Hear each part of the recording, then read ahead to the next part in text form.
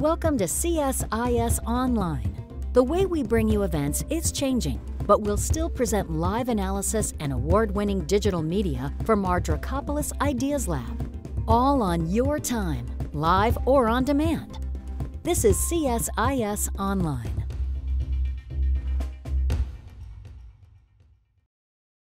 Okay, good afternoon and welcome to the fourth and final debate of the 2021 China Power Conference. I'm Bonny Lin, Director of the China Power Project and Senior Fellow for Asian Security at CSIS. Thank you for joining us today. Our debate topic today focuses on China's influence in the Indo-Pacific. China is increasingly utilizing its growing power to shape developments along its periphery. As China's economy has grown, countries in the Indo-Pacific have become more economically reliant on China.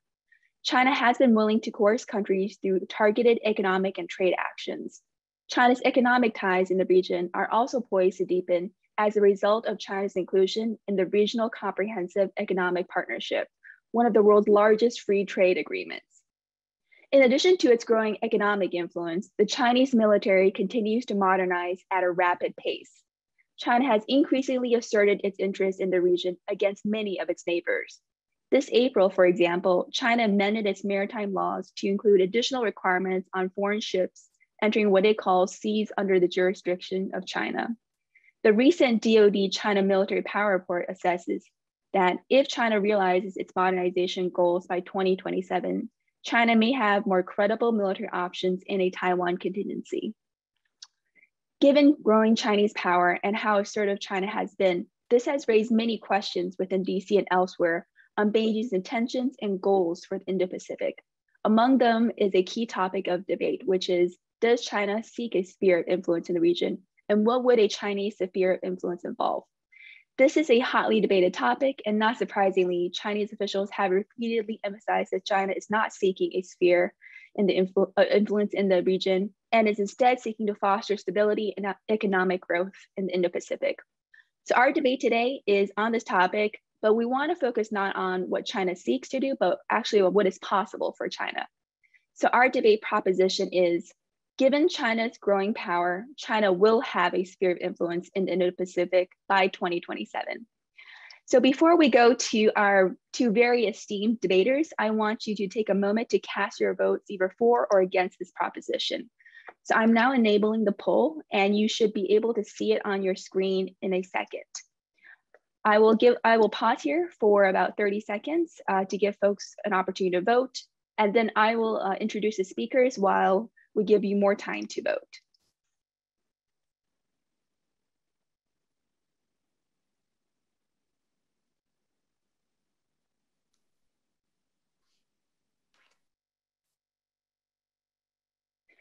So we are incredibly fortunate today to have two leading experts as well as practitioners on this topic joining us today. So arguing for the proposition is Dr. Graham Allison, the Douglas Dillon Professor of Government at Harvard University. Dr. Allison is a leading analyst of national security with special interest in nuclear weapons, Russia, China, and decision making. Dr. Allison was the founding dean of Harvard's John F. Kennedy School of Government, and until 2027, served as its director as a director of the Belfer Center for Science and International Affairs, which is ranked the number one university affiliated think tank in the world. As Assistant Secretary of Defense in the first Clinton administration, Dr. Allison received the Defense Department's highest civilian award, the Defense Medal for Distinguished Public Service, for shaping relations with Russia, Ukraine, Belarus, Kazakhstan to reduce the former Soviet, uh, Soviet nuclear arsenal.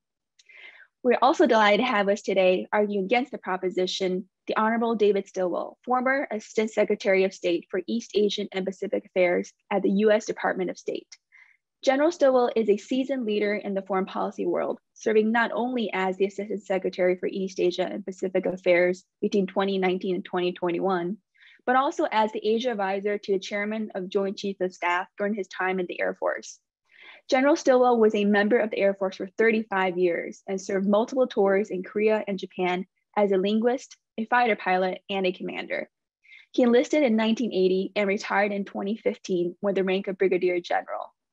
During his time, he served as a defense attache in the US Embassy in Beijing from 2011 to 2013, and directed the China Strategic Focus Group at US Indo-Pacific Command in Hawaii from 2017 to 2019. Thanks to both Graham and Dave for joining us today. So before we begin debate, let me share the results of our live poll. So our polling results show that about 78% of the participants agree with the proposition uh, that China will have a sphere influence in Indo-Pacific by 2027. 22% disagree with this. So now let's share the polling results from our Twitter poll, which we've been uh, conducting the last couple of days. The Twitter poll shows a slightly different result, but, but that might be partially explained by the question that we asked was slightly different. So the proposition for the Twitter poll is China will establish a sphere of influence in the Pacific by 2027. And this poll shows that the results were relatively even, 50-50. 50% agree and 50% disagree. So with that, um, let me now turn the floor uh, to Graham for his opening uh, comments. Uh, he'll have 15 minutes followed by uh, Dave. So Graham, over to you. Thank you again. So uh, thank you very much. Uh, it's a great opportunity to be part of a panel at CSIS with David, whom I know and respect over many, many years, and with Bonny, who I've known since you were a student and admired your work I also applaud the effort CSS, CSIS has made to uh, put a spotlight on the dramatic rise of China's power and your excellent graphics on this, and to try to promote discussion and debate about the implications of this. And so that's why I was happy to be asked to participate today. Now, as to the proposition, which I think is not really the best focus. I think the proposition is a bit awkward. Uh, uh, and uh, I think it un unfortunately risks taking us down some semantic uh, rabbit hole uh, and off the target. So, but in any case, I'll address the issue we have, and then I'll say a few thoughts about where else I would hope we can take the conversation. So basically, sphere of influence is one of the core concepts in international relations, as all of us who are IR analysts understand. The term was actually initially used, the sphere of influence as a, as a term in the 19th century, but the concept is as old as Thucydides when the Spartans tried to prevent the Athenians from rebuilding the walls around Athens after the joint effort of the two had defeated the Persians. So anybody who's a student of international relations and who doesn't understand that spheres of influence are one of the fundamental concepts probably doesn't deserve to be in your in your uh, audience. We take a slide here, please, if you can do me, Anna. So basically, Hans Morgenthau is the, I think, teacher or dean of international relations for most of us. And as he says, it's obvious from political history of the human race that balance of power as one concept and the concomitant spheres of influence are the very essence of international politics. So what, what do we mean when we say sphere of influence? And I would say we mean what the dictionary says it means. If we do the Next slide, which is the uh, Oxford English Dictionary definition. So a sphere of influence is an arena or area in which a country that has power exercises it uh, to persuade another country to behave differently than it would have, have behaved otherwise. So it's an area in which another country has the power to affect developments through it, though it has no formal authority. Okay? So if that's the definition of sphere of influence, then the proposition that will China uh, by 2027 have a sphere of influence in the Indo-Pacific, I, I think the argument, the answer is too obvious. it's hard to belabor. Now, I, I would suggest as we think about it, just ask your ask ourselves three questions. First, already, doesn't China have a sphere of influence in the Indo Pacific today? That is an area in which it's using its power to shape and change behaviors of other countries that would be otherwise did it not have a sphere of influence. Secondly, given the projections of uh, China's economic, political, military growth, will it have an enlarged sphere of influence in the Indo-Pacific by 2027, the anniversary of the, the 100th anniversary of the PLA? And again, I think the answer seems to me obvious. So thirdly, if Trump and Biden are correct, and I believe they are, or were correct, in defining China as a great power competitor, what does that what does that mean? What the definition of a great power competitor? Doesn't that mean that just by definition, it has the power to and will exercise that power to influence the behavior of other governments, and in the Chinese case, in the Indo-Pacific. So as I look at it, I think the answer is uh, yes, yes, and yes. So China has a sphere of influence today. It's almost impossible to make the argument to the contrary, but I'll be interested uh, in, in what David says about it. Uh, by 2027, will that sphere of influence likely be enlarged? I believe the answer is yes.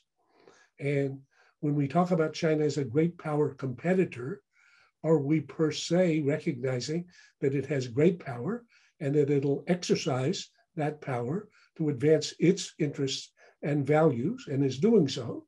And again, I think the answer is yes. So, where to go from here? And I think, I hope in the discussion, we can focus on the more important question is given that China has a sphere of influence today and is expanding that sphere of influence, what can the US and our allies and partners do to try to maintain a favorable balance of power or correlation of forces in order to protect our interests and values. Uh, that's beyond the scope of the, the point, the proposition stated, but I hope in the conversation we can go there. So let me uh, try to support this proposition by simply asking or, or making us or asking us to think, does China have a sphere of influence today in the military realm? Well, what would the commander of PACOM say? Does it have a economic sphere of interest in the Indo-Pacific? What would Lee Kuan Yew say? Is it going to have an expanded sphere of influence in this region? Again, what is PACOM planning on? What did Lee Kuan Yew anticipate? And finally, if this is a new realm of great power competition, as Jim Mattis, the former Secretary of Defense, whom both David and I greatly admire, said, what does that mean in terms of China's ability and will to act and use its power to affect the behavior of other nations uh, in the Indo Pacific. So, for those of us in the unclassified community, we had a rare window into the classified discussions when Admiral Davidson, the commander of, of Indo Pacific, testified in March for the Senate Armed Services Committee, and somehow his slides uh, leaked. So if we take the first slide, please. So uh, here is the slide that leaked from March uh, of this year, uh, testimony by Admiral Davidson in which, as you'll notice in the brown area, he calls this a area of PLA influence. Area and sphere are synonyms.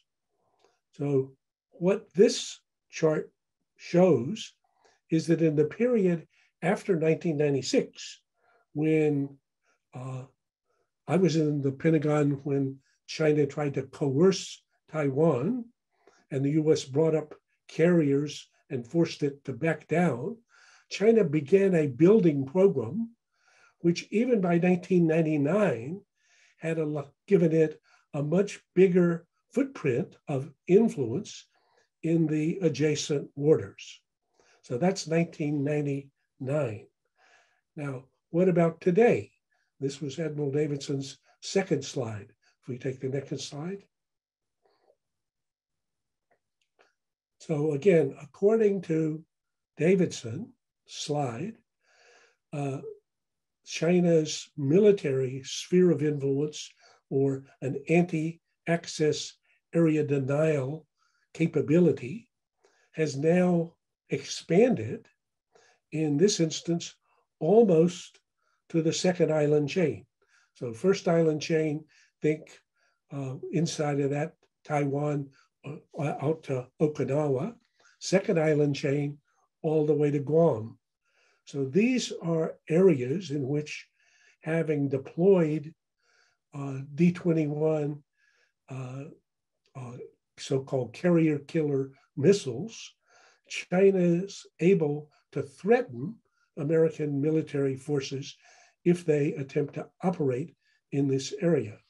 And finally, his third slide, if we take the next one, projects to 2025.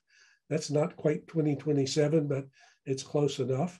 And you can see that on the current trajectory, China's military sphere of influence, that is, arena in which it can deny the US the ability to operate without great risk of being sunk, uh, is expanded.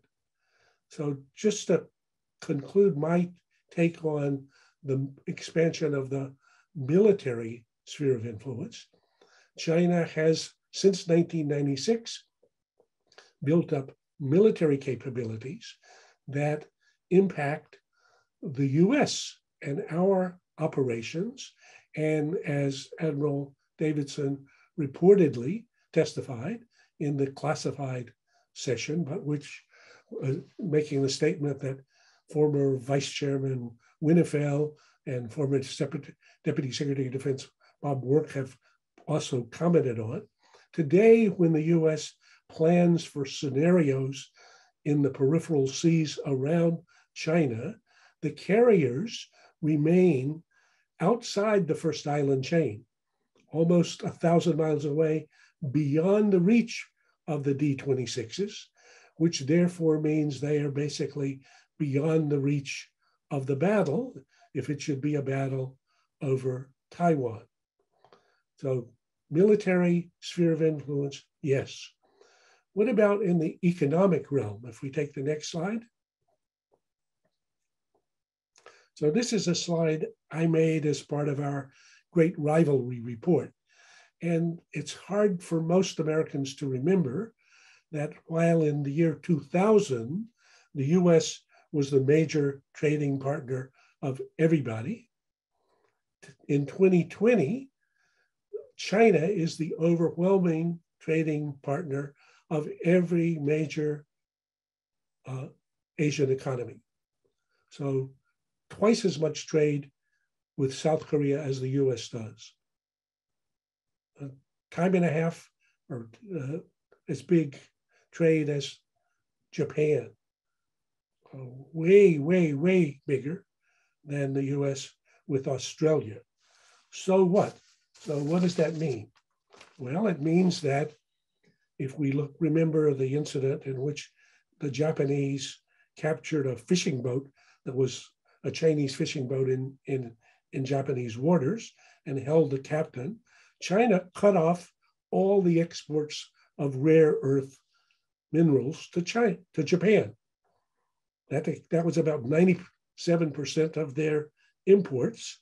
And to no one's surprise, Japan quickly released the captain. Or if we want a more recent and relevant example, think about South Korea. and missile defenses. In 2016, when South Korea angered China by announcing the decision to participate in the US uh, led Terminal High Area Defense Area, THAAD, uh, by punishing and ultimately basically destroying the Chinese operations of a major South Korean uh, retail conglomerate, Lotte. What did, how was that ultimately resolved? And it was resolved in October of 2017 when South Korea announced what they called three no's. No additional THAAD batteries, no participation in the US regional military defense system, and no trilateral alliance with the US and Japan. So, again, back to our proposition is this a demonstration of China's use of its economic power to change the behavior of other nations in the Indo Pacific? And I think obviously it is. Finally, I just remind you of Lee Kuan Yew, about who was my basically my tutor. Uh, fortunately, I had the good fortune to be uh, a student of his, in effect, for many years to try to understand more about China and China's expanding influence. And as he said, Chinese always say, "Oh no, we don't have a sphere of influence. We're we're we're we're not a hegemon. Uh, uh, all powers are equal, uh, big and small. But Lee Kuan Yew said, when we do something they don't like, they say to us, know your place. There are 1.4 billion Chinese. Think about how many people you have. Know your place. So, as Lee Kuan Yew said, the anticipation of that already significantly shapes the behavior of other states for their fear of coercion. And thus they pay a degree of deference to China. And that's exactly what happens when you're within somebody else's sphere of influence. So finally, uh, Secretary Mattis in 2018 uh, issued what he thought of as a, in effect, a, a wake-up call or an announcement of the end of primacy. So if we take the next slide. So this is the 2018 National Defense Strategy. And as he says, uh, the primacy which people cherished and which many people have got so deeply embedded in their heads that they can't recognize the world we're facing today, uh, misses the fact that there's been, as he says, a major shift in the global security environment, one in which we now have to recognize China as a great power competitor. So he contrasted this with the before and after, which is then essentially the consequence of China's establishment of a sphere of military uh, influence in the Indo Pacific. Before, he says, the US has enjoyed uncontested or dominant superiority in every operating domain. We could deploy our forces when we wanted, assemble them where we wanted, and operate it how we wanted. That was then. Today and going forward, as he says, every domain is contested air, land, sea, space, and cyberspace. So China's buildup of its military capabilities has increased its ability to contest US activities. And the consequence of that has been to change the costs and the risks and actually the plans for our operations. So, just to conclude, uh, does China have a sphere of influence, economic and military, in the Indo Pacific today? Yes. Will it have an enlarged sphere of influence in 2027? Yes, almost certainly. And the question of whether and how the US can work with allies and aligned to contest that and to sustain a correlation of forces to which China will have to adapt is a question I think we should focus on going forward. Thank you, Professor Allison. Thank you for the very in-depth uh, discussion, as well as the very clear definition of what a sphere of influence is. So let me now turn to General Stilwell to offer your views on this topic, including if you agree with this and if you're using the same definition of sphere of influence. So Dave, over to you. Oh, thank you. Um, I, to your first question, uh, it's the same definition, but I, I look at it more broadly. Uh, rather than focusing purely on military and economic, I look at the the overall or comprehensive, as Xi Jinping would say. And here's my slide.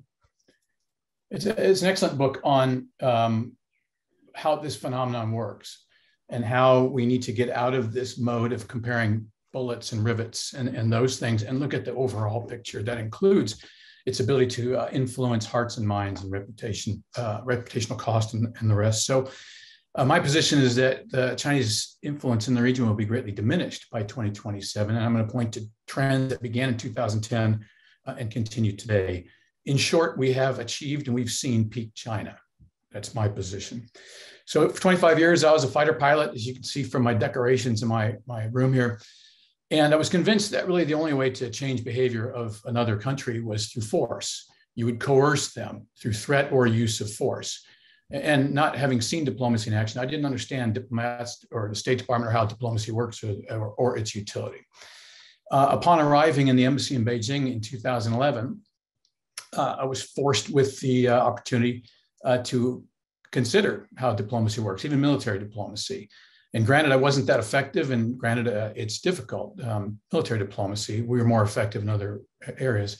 But people like Bob Wang and Ryan Hass and other very good friends that I met while I was there uh, kind of guided me into the light on this. And so I began to think about what other means there are of changing people's behavior, uh, and, and in, in, this case, the PRC. Fast forward to 2019, I'm at the State Department, and um, I don't have bullets and bombs anymore to force people to change their behavior. I only have whiskey and words as a diplomat.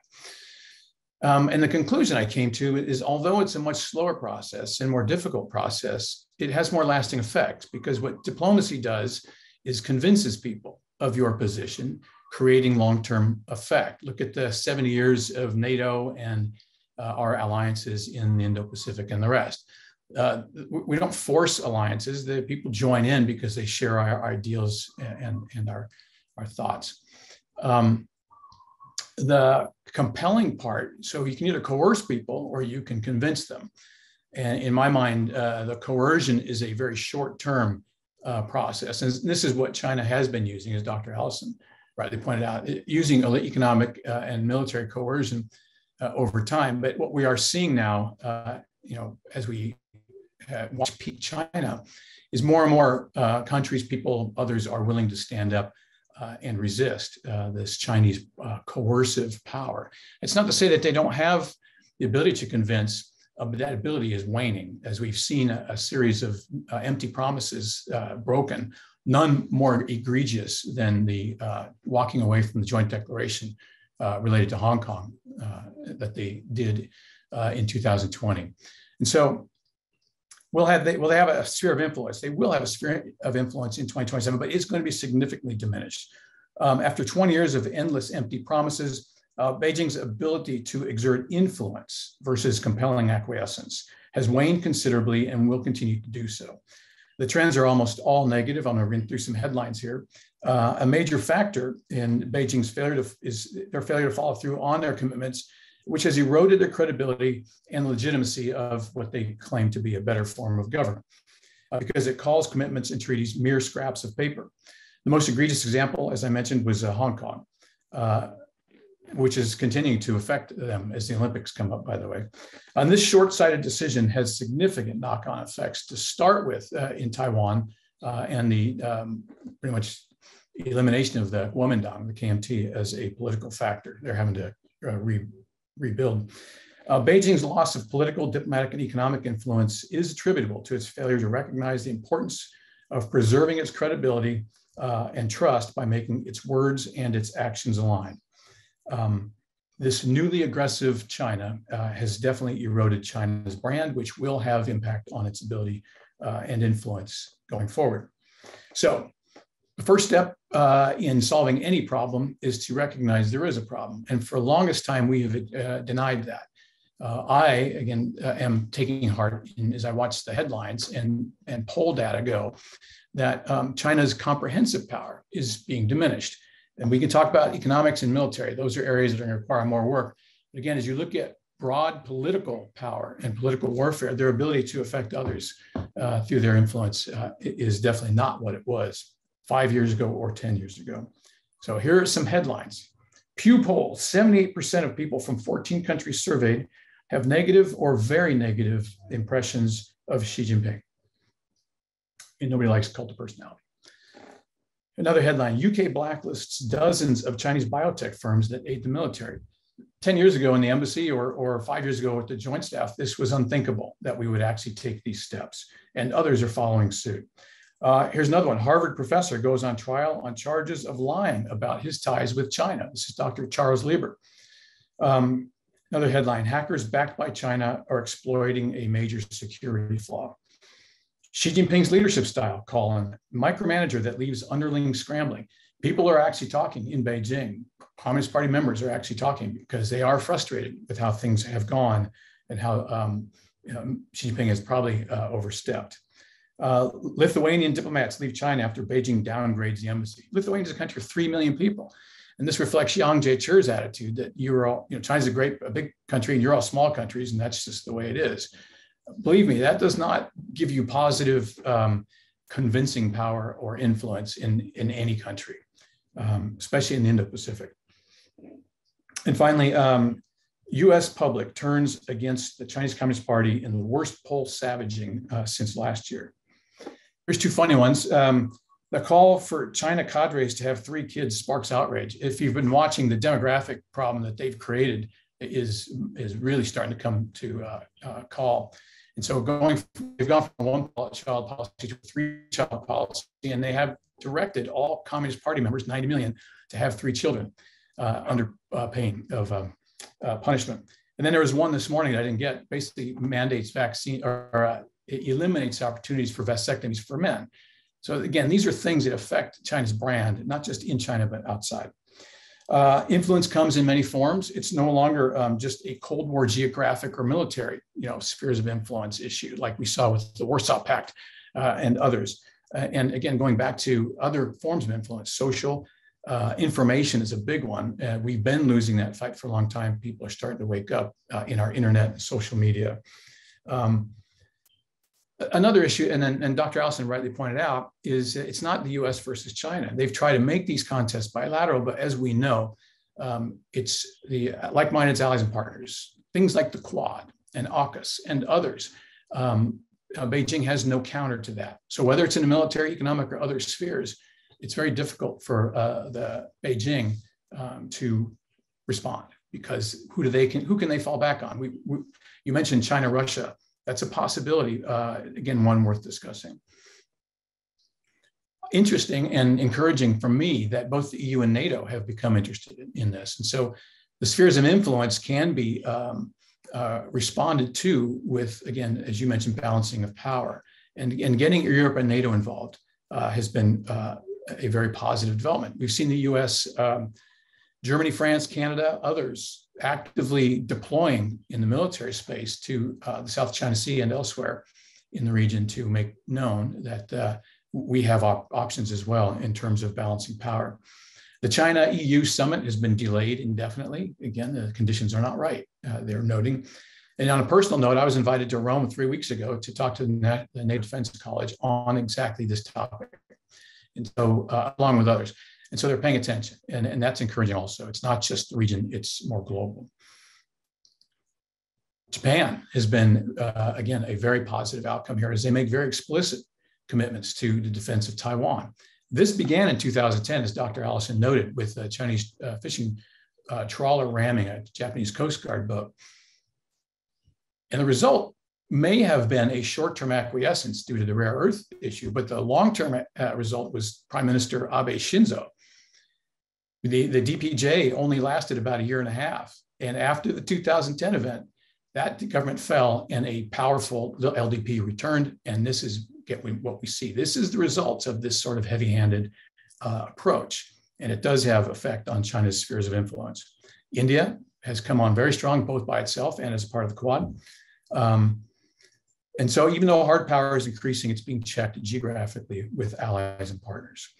Uh, the Gwadar Port Project, it's still Indo-Pacific, uh, as you have seen in, lately in the news, is not going very well. There's active protest because the promises uh, have proven empty and there's been no benefit. In fact, it's been uh, mostly to uh, Pakistan's detriment. Um, so more broadly, China's non-military influence is premised on a single factor for me, is credibility. You can't promise everything and give nothing. Uh, you know, my formulation there is if you take words and you multiply it by deeds, words and then actions, the result is, is trust or credibility. And Beijing has played this middle power approach for the longest time uh, and, and, has been given short shrift to following through on its commitments. I mentioned Hong Kong, non-militarization of the South China Sea. I mean, almost every day. I mean, how many times have you seen the People's Daily or Xinhua say, have Xi Jinping saying, China will continue to reform and open its markets uh, to the greater world while doing the opposite. This has gotten a lot of the economic uh, sphere interested, although there's a lot of work left to do.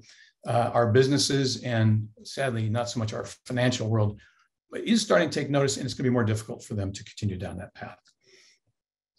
So, um, the peak China is inevitable after the world finally acknowledged that these are empty promises and that you cannot put stock in what China says. And therefore, you need a verification regime. If you remember in May of 2019, uh, Liu He came back to Beijing with an agreement and then tore it up because, because the US side insisted on a verification regime. China was going to sign it and then not follow through. We're seeing this with the current, um, uh, you know, the tariff issues, the, the agreed on uh, frame, the framework that was agreed on during the Trump administration. I think Beijing has followed through on about 60%, which is going to mean even harder uh, um, position of the U.S. and on U.S. trade if you watch Beijing's response to the Summit for Democracy, it was shrill because they saw that this is their weak point. This is where they're vulnerable. They claim that this new type of authoritarianism uh, is good and, and positive and, and you know is uh, applicable outside of its borders. And uh, the Summit for Democracy, you know, proved otherwise. Uh, this again affects their ability to pro project influence, not just in the region, but in the world. Um, look in the informational and cultural space. I mean, this matters. Um, social media matters. It changes the ways people think, vote, act. Um, the World Tennis Association and the detention of Peng, uh, Peng Shuai has got a lot of people up in arms. You would have thought that the NBA would have taken a similar approach when Daryl Morey uh, and, and uh, made his tweet supporting the, the people of Taiwan, I mean, of Hong Kong. Sadly, it didn't. But the WTA example is a positive one, and we hope that the NBA, the NFL, and others will follow suit. Um, the business interests are great, but you still have a reputation to maintain, and you still have to stand up for uh, who you are uh, as in the free world. The genocide determination, another major hit. And, uh, after the U.S. made that determination, while I was in the State Department, um, we have recently a, uh, an independent tribunal came to the same conclusion. You can deny access to the Xinjiang area, but people are going to find out. And you know, information is like water; it leaks. The Olympic boycott, yes, it's diplomatic, but it has impact, and you, you can tell from Beijing's response, it's uh, important. We have yet to hear about the Michaels. This is another uh, example of um, Beijing hard power uh, and, and, losing in the influence uh, um, space you know, uh, the Huawei heiress, uh, Meng, was detained in, China, in Canada, and the PRC wasn't even apologetic about saying they took two uh, hostages in, Canada, in China and held them until to exert pressure, not influence, but pressure on Canada to change its course. We heard from Meng. We have not heard from the Michaels, and I think this uh, we, we need to hear from them because it's important to, to, show how they were treated compared to how Meng was treated. It will change people's approach to this Chinese influence. Uh, success, the Belt and Road Forum, the BARF. Uh, BARF 1, the, the attitude was the Belt and Road, One Belt, One Road is China's gift to the world. Interestingly, after having experienced it, BARF 2 message was One Belt, One Road isn't so bad. And these are all positive indicators, and I think the trends uh, are going in the right direction. Um, In geopolitics, uh, that's a little more difficult, but the effects are there. Mekong Water Conference, basically showing that uh, the Mekong downstream countries need that water, and China's going to have to, to play ball. Another one is uh, the ASEAN four um, claimants in the South China Sea. As you saw, the U.S. changed. Well, 2016, uh, UNCLOS ruled in the Philippines' favor. A small country took on a large country, ruled in their favor that China's claims were illegal and its actions were illegal. The U.S. changed its policy to match uh, last year in July. And so U.S. policy also denies China's uh, unlawful maritime claims uh, in the South China Sea. Uh, and the region has begun to echo that and pick up on that. And finally, demographics. Um, this is part of Chinese influence, sometimes for better or worse. But as I mentioned, um, one third of the Chinese population is uh, is, is old, is over 60. This is not a positive thing. This is a negative thing. If you've gone to a restaurant in, in Beijing, what you'll see is a table of seven, one child, generally male, two parents, and then two grandparents on each side. That's great for the kid because he's getting lots of attention and food. But in 20 years, that kid's going to have to support six people. That is not a sustainable uh, demographic. And without the ability to draw people through influence uh, in terms of um, immigration, uh, this is going to be a very difficult uh, problem for them to solve. So, finally, um, to have staying power and to maintain their spheres of influence, great powers need buy in and they need willing cooperation, not coercion. Coercion is temporary. Uh, the Soviet Union had to exert force to maintain its Warsaw Pact uh, uh, sphere. Beijing should have continued its hide and hide and bide policy and made gradual uh, changes. But for some reason, Xi Jinping is in a hurry and he's uh, basically abandoned hide and bide, uh, which is, in, is creating these problems. As we saw with the Soviet Union, this use of compellence can create short term acquiescence, but to have staying power, sustainable spheres of influence require Beijing to move from coercing to convincing. And it's clear even small countries are no longer convinced. Thank you.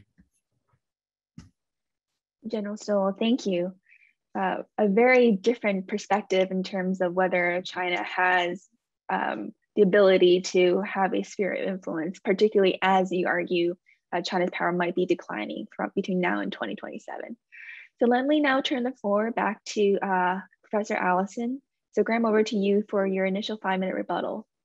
So thank you very much, David. I thought uh, excellent uh, presentation and we're gonna quit calling you general and call you ambassador. So I, I like the discovery of diplomacy and the, the uh, focus on it. I think that's a helpful reminder. I think you also rightly remind us that China is not 10 feet tall. China has many weaknesses. Uh, and that China's recent diplomacy, which has largely consisted of bullying and their wolf warriors, has had a negative impact most places. So a significant decline in their popularity. I think all the evidence shows that. So all those things seem correct. But I think when you get to the bottom lines, uh, I still strongly disagree. And so I, I start first to try to just say we should look at the facts. So let me advertise a study that we've just released at Belfer. Uh, we've released two of the five chapters. First one was on the great technology rivalry, and the second one just yesterday on the great military rivalry. And the third one is on the great economic rivalry, and the fourth one is on the great diplomacy rivalry, and the fifth one is on the systems rivalry or between democracy and autocracy.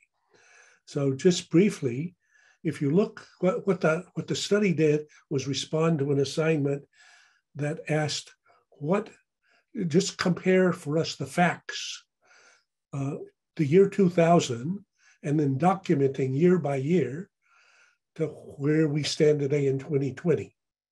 So snapshot 2000, snapshot 2020, and the evidence about what happened in between. And you can't look at this without being genuinely shocked. Even I mean, I study, I watch this problem all the time, but when I look at it, I think, no, no, it cannot be that China is a serious competitor of the US in quantum. How could that be? That couldn't be. To which answer is, excuse me, it is.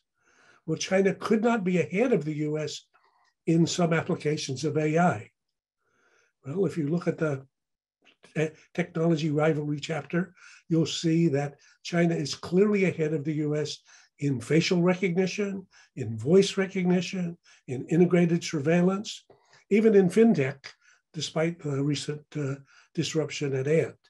So, what this, what these studies show, and I think what the evidence shows, is that in 2020, a nation that we could hardly find in our rearview mirror, we cannot find in our rearview mirror today because it's beside us or sometimes even uh, right on our heels or slightly ahead of us.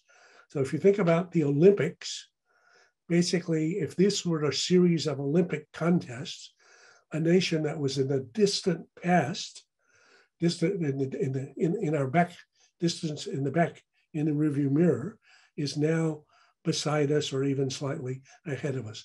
So with respect to the military, look at the military balance over Taiwan. David, I'm sure, is familiar with this. In 1996, Clinton felt very comfortable, the Pentagon very comfortable in recommending send two carriers up and force China to back down. As, uh, as Davidson testified, if that were the scenario today, you would not send two carriers into that area because they would be at risk of being sunk. So the military balance in the regional has changed significantly. If you look at the uh, technology rivalry, a country that was, as I say, distant past is now, as we say, a full spectrum peer competitor. One of the most interesting areas that I've tried to drill down, one is AI. And Eric Schmidt has been my co-author there, the fellow who had been the chief executive of Google when they got deep into AI. As he says, in the year 2000, you couldn't see China. It was back with Europe, not really a competitor. Today, in the AI space, Google sees China as a serious peer competitor. If I do economics, in the year 2000, you had a poor developing country just getting entry into the WTO. And the US was the number one trading partner of everybody. Today, you have an economy that's as big as the US, depending on whether you use MER or PPP, but certainly in the range of, and was the dominant trading partner of everybody. And then who was the world's manufacturing workshop? We were. Who is the world's manufacturing workshop today? So we could go through the, and in the diplomacy arena, just as you say, fortunately, even though for Americans, as Bill Burns puts it in his memoir, diplomacy is a lost art and unfortunately, I'm afraid it is. The good news is at least it hasn't been found in Beijing. So their ugly bullying is not being successful. So, just to the bottom line, has China today the ability to impact the behavior of South Korea and Japan and the US? Not necessarily whether they like them, but how they behave. The answer is it does. Will it continue to do that in 2027? I think, unfortunately, yes, it will. I don't think that's deniable. Can we, could we imagine a sustainable US strategy for doing a better job of balancing this seesaw so that we have a favorable correlation of forces for our interests and values? Yes, we could, but will we do it? That's the big question. So maybe we should go there before we're done, Bonny. But my view is that yes, they have a sphere of influence today. Yes, they will have a sphere of influence in 2027. And what we're arguing about is how significant that will be and which of our interests and which of our values it will impact. Thank you, Professor Allison. Uh, many questions, hopefully, that we can get to during the Q&A too. But let me turn first to Dave, General Stilwell for your initial rebuttal. Sure, it's tough to argue with your points. Um, you know, all uh, very well argued and um, backed up. Um, I guess I would say, just in general, I would quote Churchill here and say, America will always do the right thing after it's tried everything else. We've tried everything else. Okay. All the things that you pointed out um, uh, were us helping. I gave a speech at CSIS in December 2019 on this, you know, running through 40 years of us actually helping China become our biggest competitor. And we did it with a full heart. And I think for all the right reasons that make, again, our worldview attractive. Um, all the numbers you quote are exactly accurate, but they don't forecast uh, what happens in five years. And if you look at the curves, if you look at those trends on trade and manufacturing, they are starting to bend. And so my point is that in five years, they will have bent. I think we've reached peak China, which is why they're bending. If you look at what COVID has done to China, not only a massive uh, blast to any uh, credibility it has, you know, after arresting a doctor who simply notified, noted that we have a problem here, and then uh, not allowing anybody in for investigation and all those things. And then the subsequent shutdowns that have made doing business in China even more difficult. And if you look at what businesses are doing, they are leaving China. It's not a wholesale route yet, but it is no longer attractive. Demographics, labor costs are too expensive now. Um, uh, regulation is increasing and it's tougher to do business. And then with the, the Michaels, Peng Shuai, and all these others, it's just dangerous living in China. If you look at the national security law, it says if you say or do or anything on your computer something that uh, offends the Communist Party uh, or undermines its national security, uh, you are therefore subject to not just arrest inside China, arrest outside too. So it's extraterritorial. It, uh, these things are all having uh, an effect. Uh, yes, they are. They have a definite growing trend in tech I mentioned Dr. Charles Lieber, and there are others uh, through their Thousand Talents program where they've in, infiltrated our universities and academia and our research uh, facilities. Uh, if we continue to shut that tap off, which we have done by uh, eliminating Confucius Institutes, uh, you know, in my world, closing Houston Consulate, which was uh, doing just terrible things to both the academic and um, MD Anderson Medical Center, they were at, in their wholesale stealing. What happens to this magnificent R&D capability in China when they can no longer borrow or steal uh, all the knowledge that's out here uh, and available? That door is closing, and um, it, it, will continue to close, I believe. Uh, and by 2027, it will be entirely indigenous development. And, and the Chinese people are just as creative and capable, but they're in a government that doesn't allow free thought and creative thought because it's dangerous. And, and we've seen that as well. Um, and I guess uh, the, the, last thing is uh, yes, you're right. Military, it is hard to make the argument that they've peaked. Um, but I got to say that, uh, and my understanding of the PLA and of the CCP is they do not have great confidence in um, their military capability. Uh, there's another great book here on Deng Xiaoping's Long War, the invasion of uh, Vietnam in 1979, and, and, the great doubts they had about the, the loyalty and the capability of the PLA. Those doubts remain. Uh, and so the Taiwan option still, I believe, remains very distant. There'll be a lot of posturing and there will be a lot of empty threats. What we need to do is acknowledge that they're empty, acknowledge the complete lack of credibility and do what we do uh, and, and stay true to ourselves. Thank you. Thank you, Dave.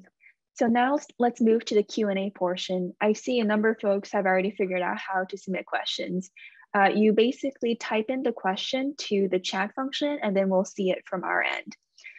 So as we're waiting for questions to pop up, I did want to touch on a topic that was mentioned briefly uh, by both of our distinguished uh, debaters, which is uh, Russia. Uh, so I want to ask about, as we think about China's ambitions and its influence in the Indo-Pacific, to what extent do you see China-Russia relations as either strengthening or weakening China's sphere of influence in the Indo-Pacific between now and 2027. So maybe let's let me turn to Professor Allison first and then to Dave. So Bonny, thank you very much. Good question.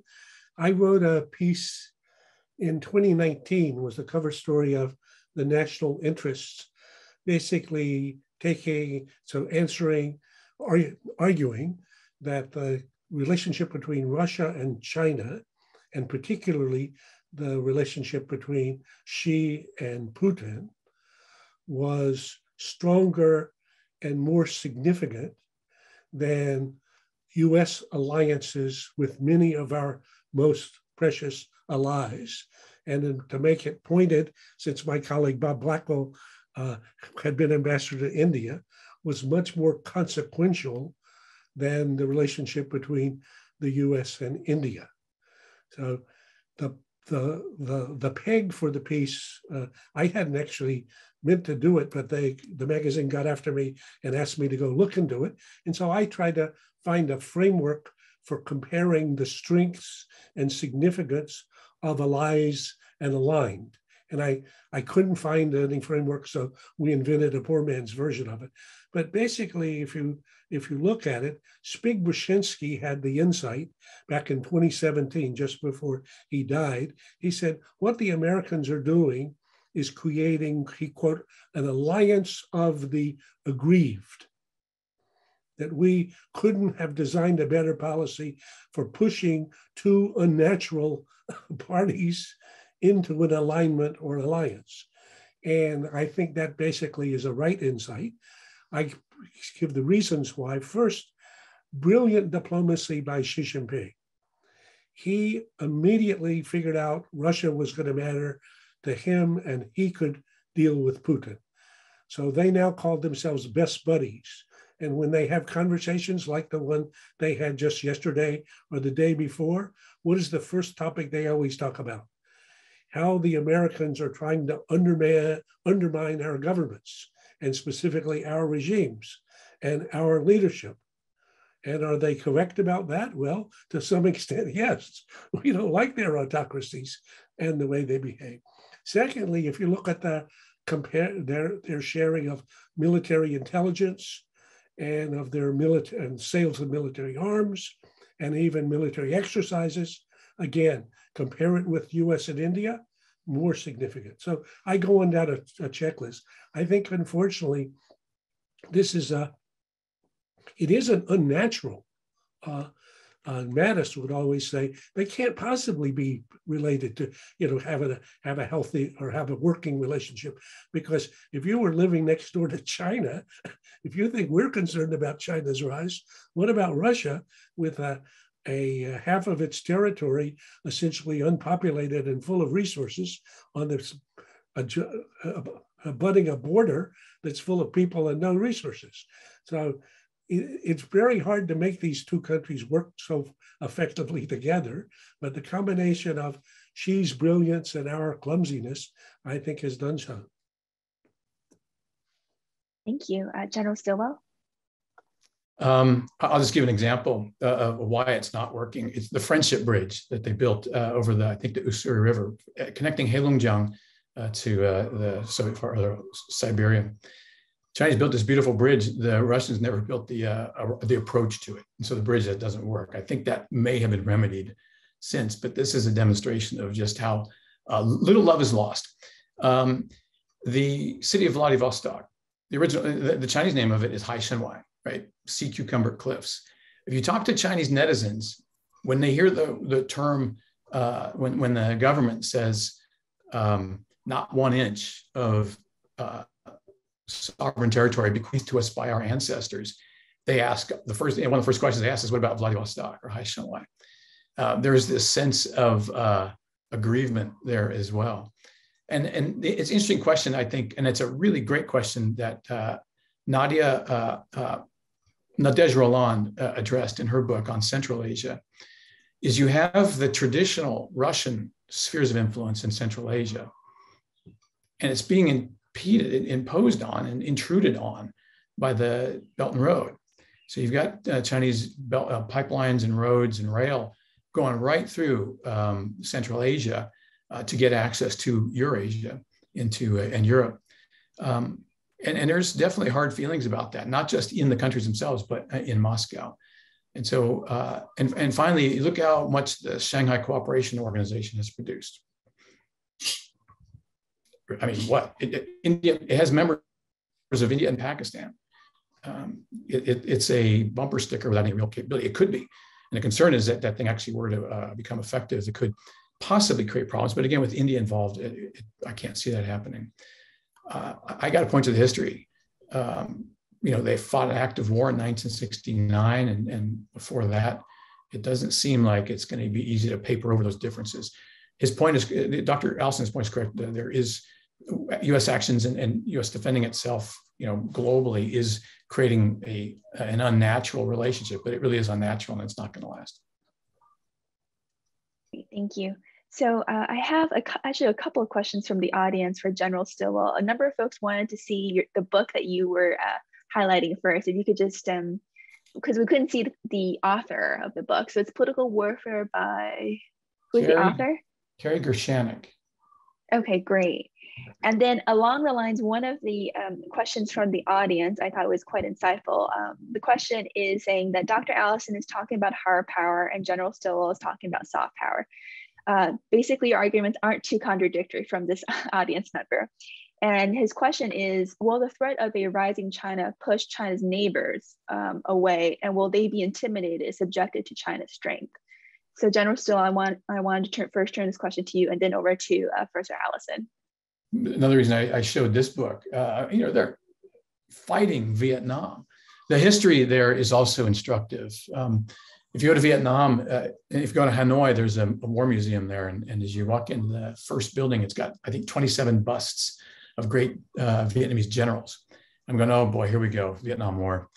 Two of those generals fought the US and the French. The other 25 fought the Chinese invasion of 1000, the Chinese invasion of 1120, the Chinese invasion uh, like that. There is no love lost uh, among Chinese 14 neighbors, of which they fought wars with 12. And they're fighting now India today um, you know, when you're a great power like that, when you're a big power, you just you naturally create antibodies, um, and especially when you're using hard power and not soft power um, through uh, pressure, invasions, influence, and, and, those things. You know, um, influence as in violating China's policy of bu gan she neizheng, right? Non-interference in internal affairs of other countries. Very cynically do the exact opposite. Um, I, I, I think it's a very easy uh, beyond the economic draw, it doesn't take much to explain and, and, argue that China's neighbors are not real happy with being aligned. Even Pakistan, its lips and teeth ally. So,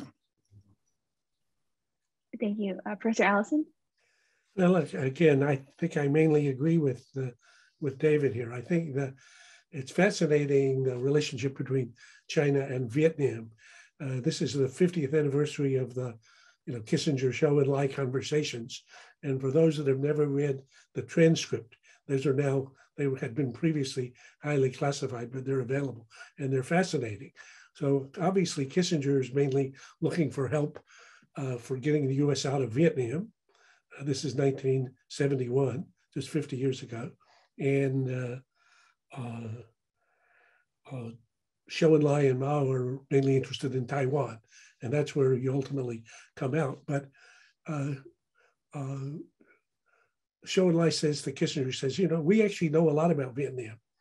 Uh, and it comes up. And Henry says, well, what about that? He says, you know, actually, we were defeated by Vietnam by two uh, uh, women, women, gener- women generals. And Kissinger hadn't, didn't know the history. He said, what? And he said, Yeah. He said, Actually, I went and laid, Zhou Enlai said, I went and laid flowers at the graves of those generals. So there's certainly no love lost in Vietnam for, for uh, China. One of the senior leaders once said to a colleague of mine, he said, Have you ever looked at the map of Vietnam? And I said, No. I look at it. He says, It looks a little bit like a backbone, but it's kind of deformed. He says, That's us and it's deformed because China's been sitting on our back for 4,000 years. So I think China has left something to be desired in its relations with its neighbors. But before we get too uh, uh, hyperbolic about this, it's worth remembering uh, the US behavior towards our neighbors and uh, how they actually may think about that. So nobody in Mexico who's a strategic thinker forgets that big chunks of a country are now called New Mexico. Maybe that'll give you a hint, or Texas, some portions, or California. Uh, in my book, Destined for War, I have a chapter on what if Xi Jinping were just like us, which is one that Americans the, like the least of this one. But it compares American behavior at the beginning of the 20th century, when we were entering what we were sure was going to be an American century under the leadership of one of my heroes, Teddy Roosevelt. and the way we behaved.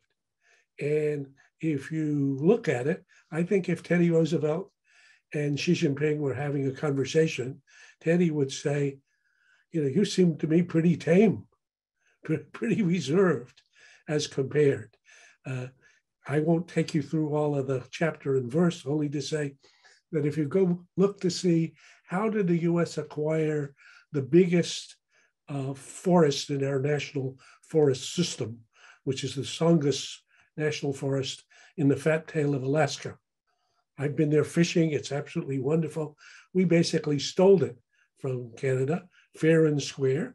If you go to the Canadian uh, National Museum, they have a great display about this. I'm glad we did. Uh, we can fish in the territory and it's now ours, but uh, I think that's not forgotten by Canadian strategists. Fortunately, if you're living with weak neighbors who need you more than they do, they can learn to live with things that are fairly uncomfortable and even most of the time forget about them. Thank you. So Professor Allison, another question for you, actually a couple of questions I'll roll up into one. Uh, so you mentioned um, China's significant growth from 2000 until 2020 and the range of studies that you've looked at here. From your perspective, what are what do you see as some of the major weaknesses in China's development now or up till 2027? A particular question relates to if you think, for example, China's financial system um, and uh, and whether China suffers from potential major economic vulnerability from that. It's a great question. Though you can uh, find serious analysts who argue that China has peaked. Uh, uh, David mentioned that. Uh, uh, and who argue that the weaknesses in China's economy are now coming home to roost. And there's 10 favorite ones. And you can find equally serious analysts who argue that, yes, China has huge obstacles, but it's demonstrated in the past that it can overcome them and it will do so in the future. Actually, the conclusion of this chapter that I mentioned of our great rivalry on the economic rivalry, the conclusion of it is ask the question Will China continue over the next decade growing at more than twice the rate of the US, since it's the relative position of the two parties that matter? And it says, here's the arguments for no, and here's the arguments for yes. So in the no column, you start with debt and the real estate bubble that has been recently lanced over Evergrande. Uh, though, if you watch the way to jump to the yes column, the Chinese government has handled that. It's been much more effectively than the US handling of the crisis we faced after Lehman and without a great financial crisis and without the risk of a great recession. So there's demographics. David mentioned that. The, the demographics is a serious problem created by a crazy one child policy. That's now relaxed. Over time, that will adjust. But will that affect next the workforce? Well, the workforce will be shrunk as the demographics shrink, but the retirement age in China today is 60. So it's not very hard to adjust that to the American level of 65 and therefore normalize your workforce as required. Plus, there's additional 500 million people they're trying to get out of the countryside into the cities. So that's another huge undertaking, but in terms of, of your workforce. So you can work your way down this list. My bet is that uh, if I had to bet, I mean, I would say, oh my goodness. I, but if you look at the people who make their living betting, does Elon Musk think that his EVs are going to be produced more and sold more in China or in the US? China. They've just opened this big new factory. Does Apple, the world's most valuable company, produce its iPhones in the US or somewhere else? I mean, in China or somewhere else, in China. So that's where iPhones are assembled. Does the world's biggest manager uh, of money, BlackRock, uh, has it doubled down or has it reduced its exposure to China? It's doubled down. Does the world's largest uh, foreign investor, UBS, what they're voting about China. They've doubled down. So I think the if I follow the smartest companies and the smartest investors, they may turn out to be wrong, but they're betting that China will continue at a slower growth rate than it's seen in the past, but at more than twice the rate of the US. And since for me, it's the geopolitics that's the, that I care about more than the economics. The economics is the wherewithal for that. Uh, I would like to take comfort in the fact that they had that the trends had had uh, had turned and they had peaked, but I'm not going to count on it. Thank you. Let me um, now make sure Thanks. that we do ask the the question that um, Professor Allison actually asked at the beginning and turn that question to uh, General Stilwell, which is um, one of the questions that you raised, uh, Professor Allison, was what are the main or major ways that China, that if, or uh, as we look forward, China's sphere of influence will challenge US interests? So I'd like to turn that question to uh, General Stilwell, and maybe we can then wrap up quickly um, and I'll give a little bit of time for both speakers to also address the question that Professor Allison you at, uh, asked early on, which is what should the United States do? Very briefly, as the last question after that. So, General Stilwell, to you first on um, ways in which China's spheres influence challenge U.S. interests, and then any thoughts that you have for what the United States should do. Um, good. Let me just answer, uh, make one very important point here. Um, there were a lot of stats quoted about business opportunities in China. You can't believe any because you can't verify them. The official death rate from COVID in China today is still 4,686. It has been that since last April. That is the official death toll. There is no stat I can think of that's more definite than someone's alive or dead. And we know it's much, much bigger than that. But uh, legitimacy hinges on this. And now they've told this lie and they can't back down from it. Uh, and then on Tesla, uh, Tesla is being pushed out of China. And, and, all that technology is going to a Chinese company called NIO. Um, Apple iPhones, you're seeing Tim Cook. Um, there's a story that he paid $250 billion to maintain access to Apple iPhones in China these things are not sustainable, and, and uh, we need to continue to try to verify um, these things. I, again, it, if my theory is correct, and we've seen peak power, uh, China's um, Beijing, not China. Remember, it's the Communist Party, not the people. Um, but their actions will become more dire and desperate, uh, and so it's going to become more overt, and it's going to become easier to to uh, identify. But we have to have the will to identify, and then to deal with it. And this involves Department of Justice, FBI. And, and look, rule of law matters in this country. This is why we have an attractive uh, philosophy is we dismiss cases unless we have you know, strong evidence, strong proof, convincing proof. Uh, unlike kangaroo courts in China uh, today, and you're seeing, you know, in Hong Kong, whereas um, judicial independence was the one thing that gave Hong Kong some semblance of autonomy, you're, you're seeing even that whittled, and, and you can't even speak of it judicial independence inside China. I mean, did the Michaels get any uh, due process? Uh, and how can you do business in a country? This is what Hong Kong's utility was.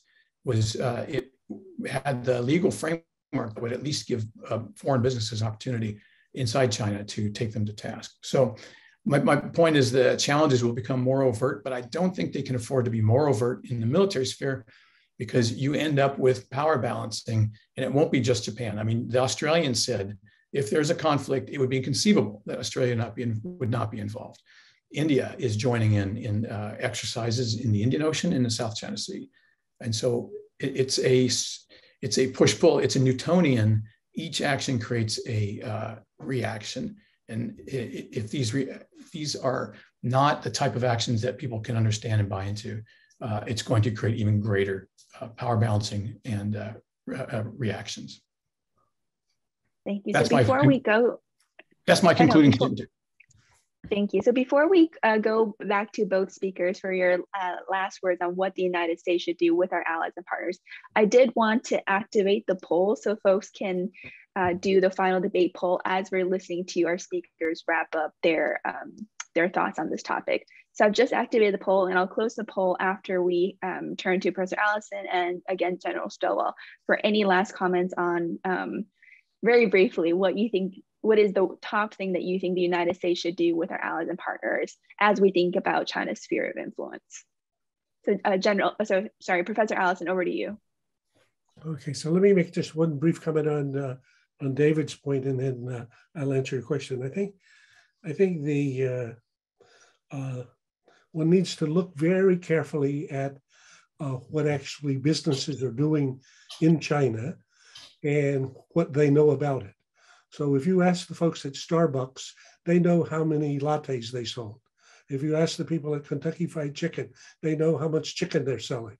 If you ask Tesla, how many cars have they sold in China this year? Answer 416,000. So do they have good data? You bet. That's their business. And I think if you look at the financial companies as they've been investing, again, their information system gets beneath the government system and way better than what you would read in the newspapers. So I would say don't discount China's economic growth as and the judgments about it as reflected by people who are betting their money uh, and big money. Uh, they may be wrong, but it's clear they're not doing this as a matter of emotion or otherwise. In terms of what to do, I think the objective for the US that I think the Biden administration has appreciated is that China's power is rising and will continue to rise. So I compare this in my book to a seesaw, as if there were kids sitting on either end of a, of a seesaw on a playground.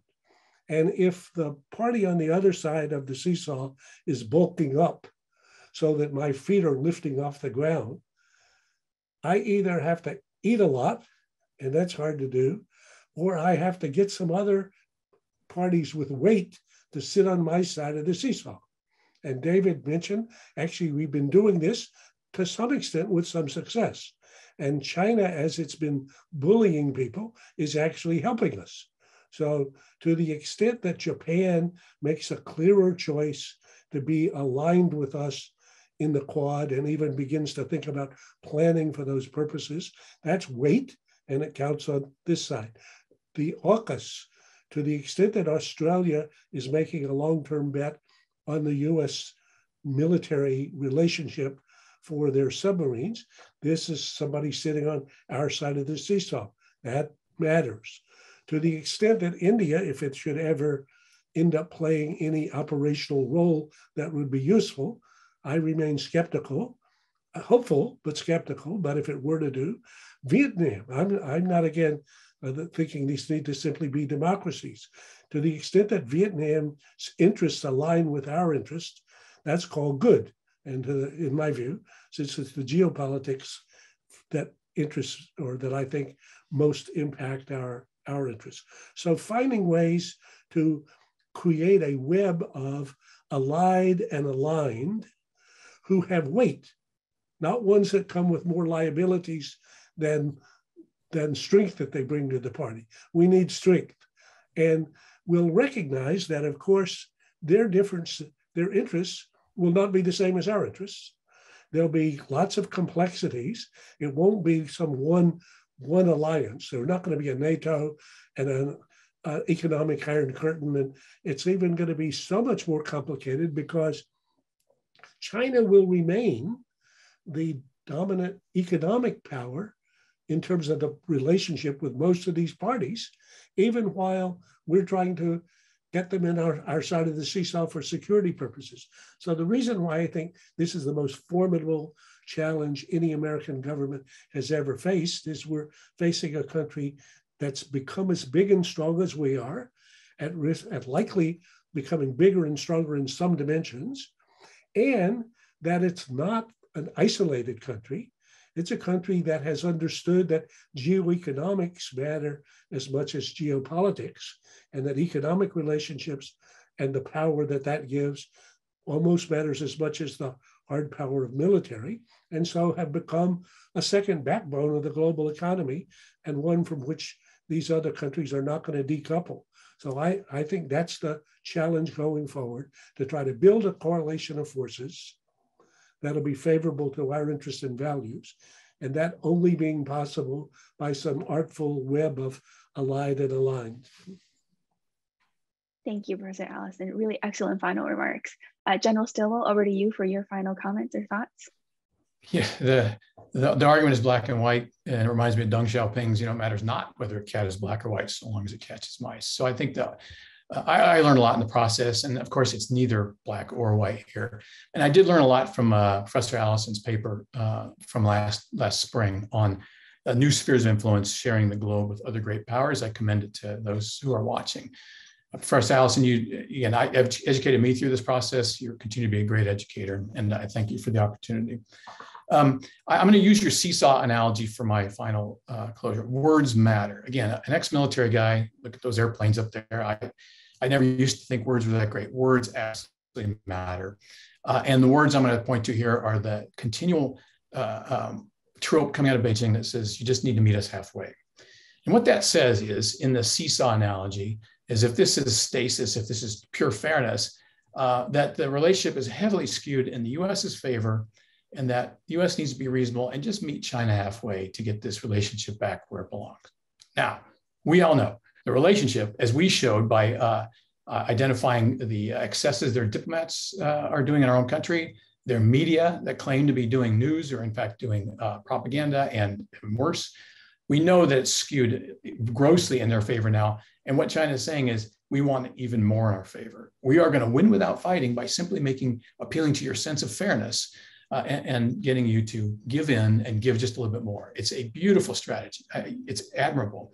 Um, but the time of, of wishing it away is over, as, as, uh, as Professor Allison made very clear in the military sphere and the economic sphere and others, that we, we need to gird up and we need to remember uh, what great power competition is about and get busy. And I think once we're in the competi- competition mode, fully engaged, there's no question how this is going to turn out. Thank you. Thank you, General Stella. I'm going to end the poll right now and share the results. Um, the results are actually remarkably similar to where we started with. Um, and I think actually both speakers agree to some extent that China already has a sphere of influence. It's just a matter of whether that's going to be increasing or decreasing as we move to 2027. Uh, so let me close here by thanking both of our excellent uh, panelists and debaters for joining us today. And I want to note that this is the, our last and final debate of our China Power Conference. And um, we will be wrapping up our work for this year. And we hope that you will be able to join us next year. And last but not, um, perhaps quite important is that um, we hope that everyone will have a happy uh, holidays. And we hope that you will join us again in the new year as we have a number of events um, at podcasts um, uh, aligned for the next year. So thank you again and happy holidays.